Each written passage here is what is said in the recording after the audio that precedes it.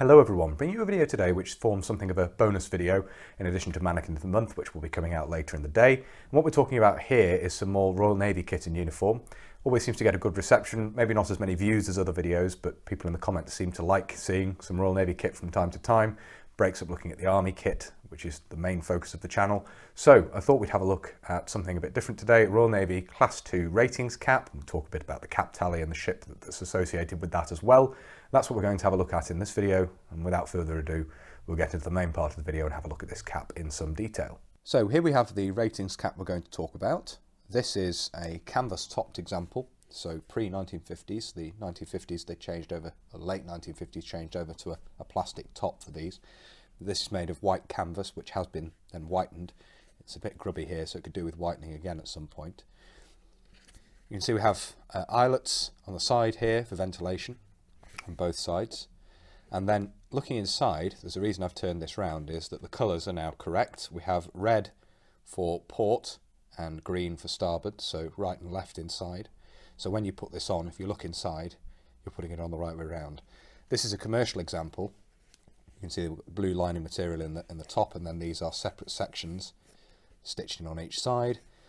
We have a, a Dreadnought battleship there in gold print, which would be the brand, uh, stamp, presumably the brand mark, and then the size of 6 and 7 eighths, which is wrong. This is around the 7 and 8th. It fits me, and I, I take a 7 and 1 8th in UK, in British hat sizes.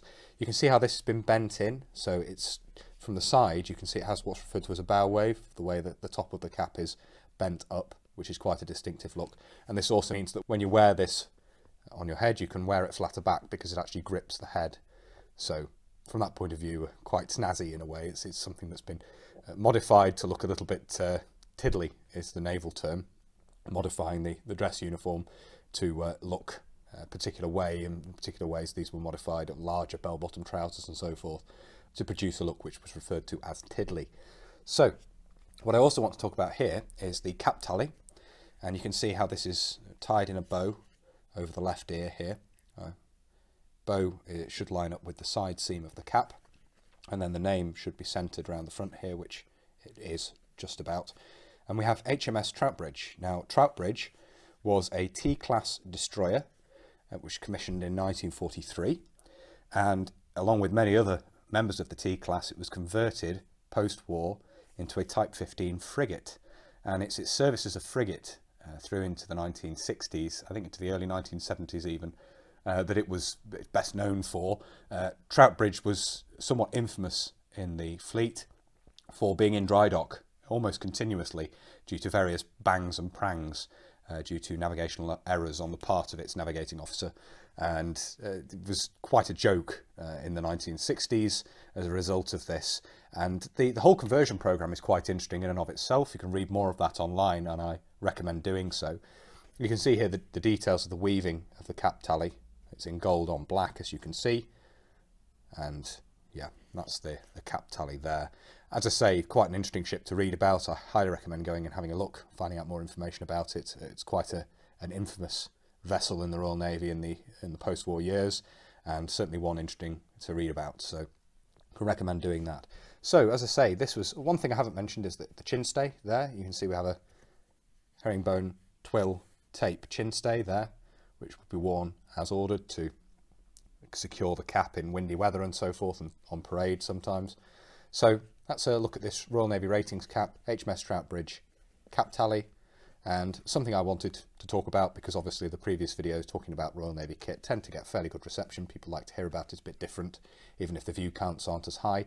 So I thought this was worth talking about. So HMS Troubridge cap tally on a Royal Navy canvas topped ratings cap. So I hope you found it interesting looking at that. As I say, always interesting to talk about Royal Navy kit. It's my first interest. It was my first area of collecting when I first started collecting uniforms and kit and so forth. So it's always nice to talk about Royal Navy kit on the channel.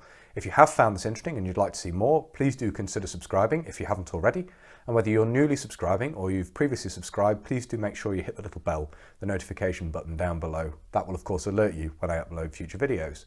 If you really like my uploads and you would like to support the channel, you can. Both Patreon and PayPal are linked down below. And a massive thank you as ever to everybody who supports the channel using those two methods. It's greatly appreciated as I always say. Thank you all very much indeed. If you'd like to follow the channel on social media, you can. Facebook, Instagram, and Twitter are all linked down below. And if you'd like to get in touch but you don't really use social media, there is, of course, an email address down below as well. That's everything for this video, so until next time, bye for now.